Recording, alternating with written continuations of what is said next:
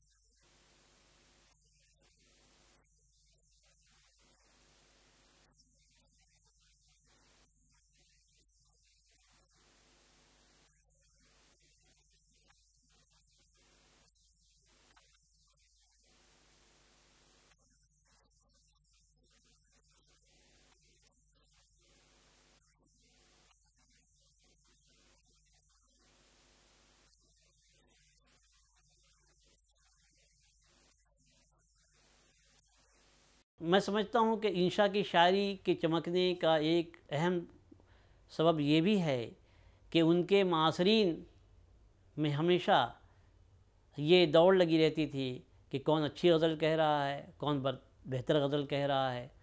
اگر کوئی غزل کہی جاتی، اگر کوئی انشاء غزل کہتے تو تو مصفی بھی غزل کہتے، فائق بھی کہتے، قتیل بھی کہتے۔ اس طرح ایک ادبی ماحول ان چشمکوں کے درمیان ضرور بنا رہا۔ کوئی کرتا نہیں جو کام سو ہم کرتے ہیں۔ یہ بالکل سچ ہے۔ انشاء نے وہ کام کیا ہے جو دوسروں نے نہیں کیا۔ غزل میں ہو مصنویات میں ہو، تمام اختراعات میں ہو، تمام اردو اور نئی چیزوں میں ہو۔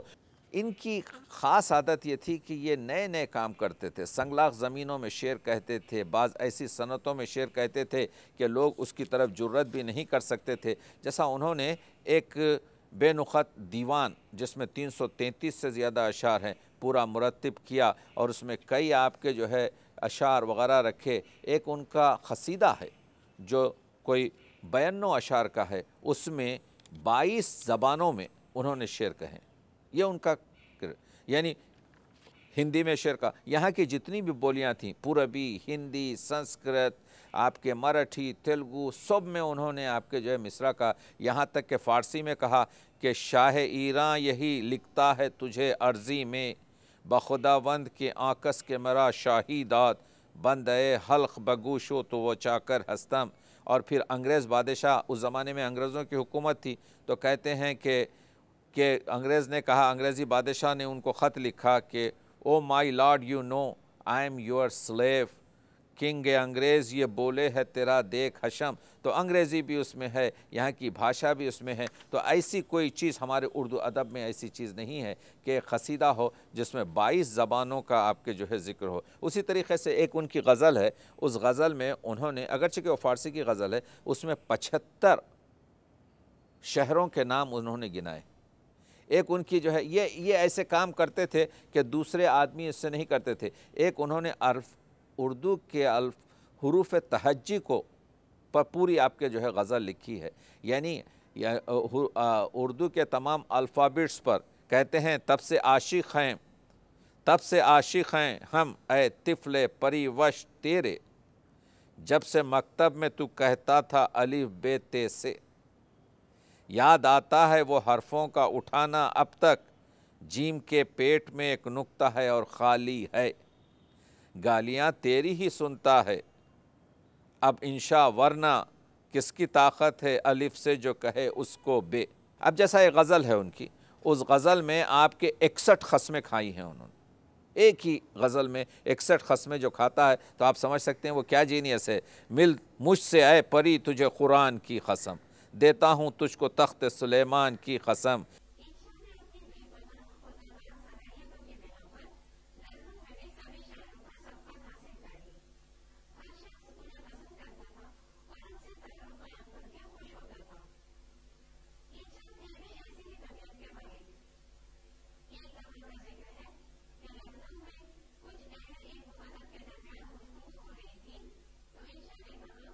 میاں میں تو یہ چاہتا ہوں کوئی ایسی کہانی لکھی جائے جس میں عربی فارسی یا ترکی زبان کا ایک بھی لفظ نہ ہو۔ پوری کہانی دیسی بولی میں ہونی چاہیے۔ جی ہاں اس میں ہندی اچھٹ ہو کسی اور بولی کا نہ میل ہو نہ پٹ ہو تب میرا جی خوش ہو کر کلی کی طرح کھیل اٹھے گا۔ مجھے تو یہ بات ہوتی دکھائی نہیں دیتی۔ ایسی کہانی لکھنا جوئے شیر لانے سے کم نہیں۔ مجھے تو اتنی قابلیت اور دم کسی میں نظر نہیں آتا کہ جو ایسی کہانی لکھ کر دکھا سکے۔ میاں میں کوئی ایسا بڑبولا تو ہوں نہیں کہ رائی کو پربت کر دکھاؤں یا جھوٹ سچ بول کر انگلیاں نہ چاہوں اور بے سرے اور بے ٹھکانے کی الجھی سلجھی باتیں کیے جاؤں۔ میاں مجھ سے اگر یہ کام نہیں ہوتا تو منہ سے کاہے کو نکالتا۔ میاں جس ڈب ہوتا اس بکھیڑے کو ٹالتا۔ اور یہی بہتر ہوتا ورنہ خواہ مخواہ سب کی ہوتی۔ لاکھ کوشش کے باوجود اگر ایسی کہانی نہ لکھ پاتے تو عزت مٹی میں مل جاتی۔ بالکل ٹھیک کہتے ہو۔ اگر حضرت امیر خسرو زندہ ہوتے تو اور بات تھی وہ آن کی آن میں ایسی کہانی لکھ سکتے تھے۔ لیکن آج کے زمانے میں مجھے کسی میں اتنا دم نظر نہیں آتا کہ وہ اس مشکل کام کو آسان کر دکھائے۔ میاں میں اپنے منہ پر ہاتھ پھیر کر اب مونچھوں پہ تاؤ دے کر آپ لوگوں کو یہ جتا دینا چاہتا ہوں۔ اگر میرے داتا نے چاہا تو میں وہ تاؤ بھاؤ اور چاؤ دکھاؤں گا کہ عرصہ خیال تنگ رہ جائے۔ اور کہانی پڑھ کر ساری خلقہ دنگ رہ جائے۔ خم ٹھوک کر مچھوں کو تاو دیتے ہو تو کہانی لکھ کر دکھاؤ۔ کہیں ایسا نہ ہو مچھیں منڈوانی پڑ جائیں۔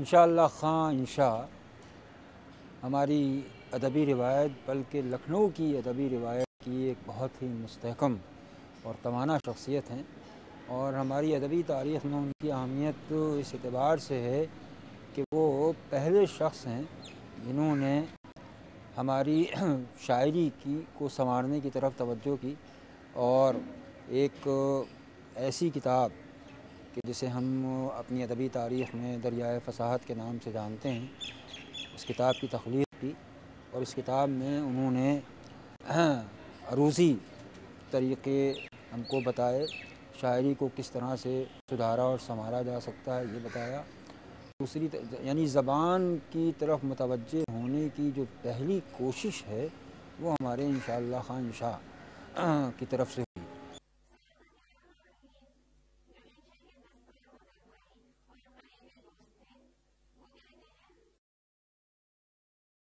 ہم نے انشا کے وہ رنگ دیکھے ہیں جن کا خیال کر کے دنیا سے جی بیزار ہوتا ہے۔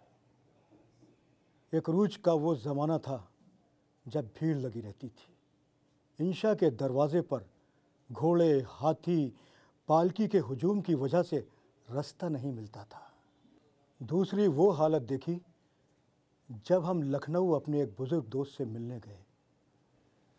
باتوں کے بیچ وہ دوستوں کی بے وفائی کا ذکر کرنے لگے۔ تو ہم نے کہا، آپ بجا فرماتے ہیں۔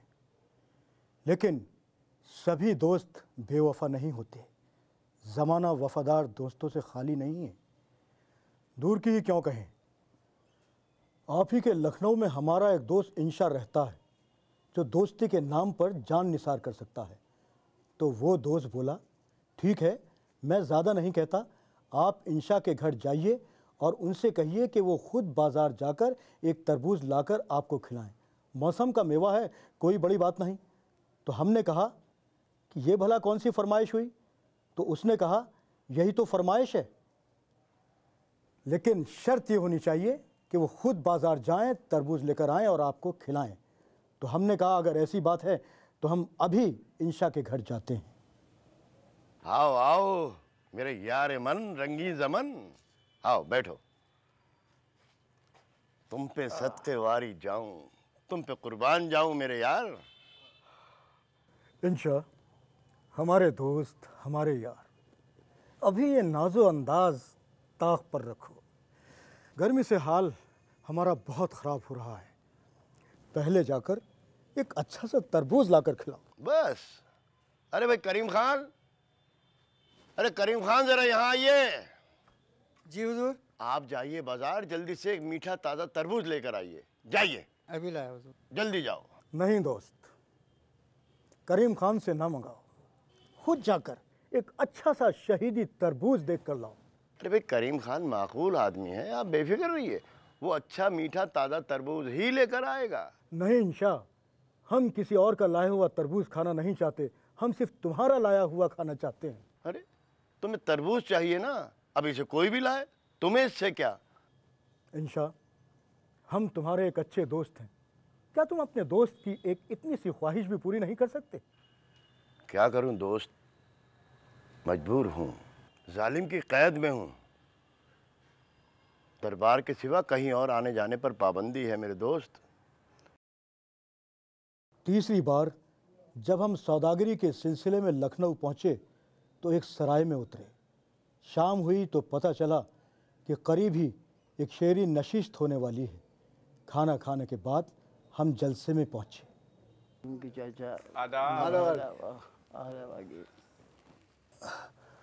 بھائی تھوڑی آگ ہو تو یہاں رکھ دیجیے ہمارے حقے میں۔ جناب حقہ تو نہیں ہے سونپ لیجیے۔ بھائی ہمیں ہمارے حال پہ چھوڑ دیجیے۔ نہیں تو ہم جاتے ہیں۔ ارے ارے صاحب آگے تشریف رکھیں۔ جی۔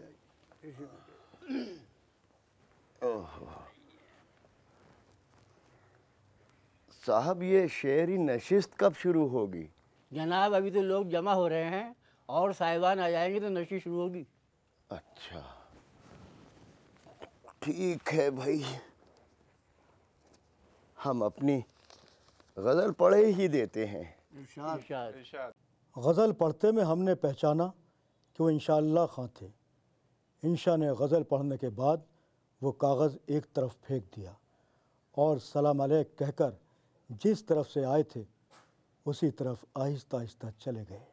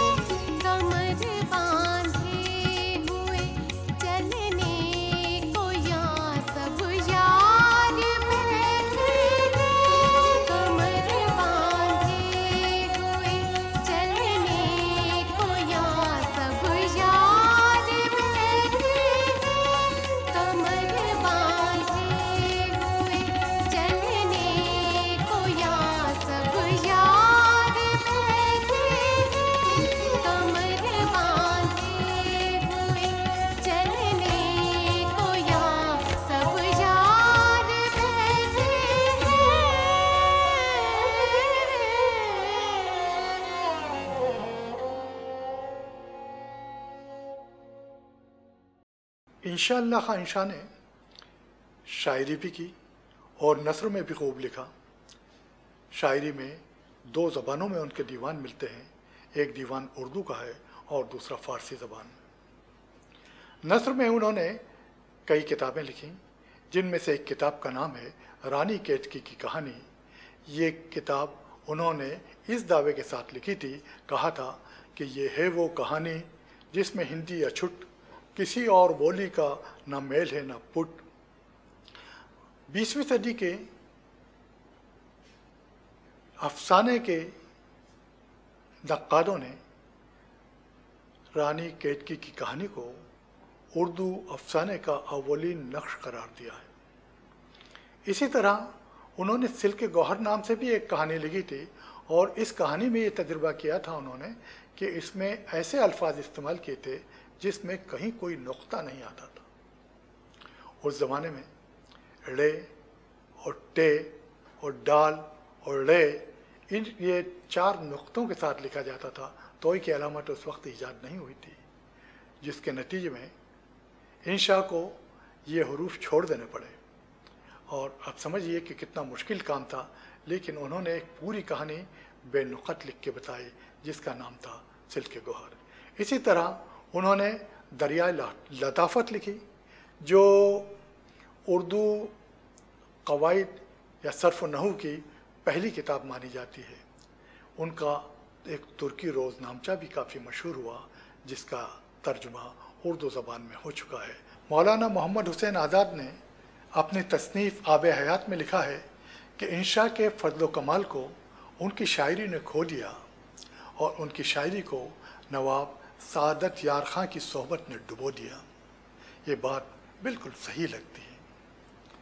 انشاء آخر عمر میں جسمانی لحاظ سے اور دماغی لحاظ سے کافی کمزور ہو گئے تھے اور اسی عالم میں انہوں نے اٹھارہ سو سترہ میں اس جہان فانی کو خیر بات کہا۔ لکھنؤ میں ہی دفن ہوئے۔ آسماں ان کی لہت پر شبنم افشانی کرے۔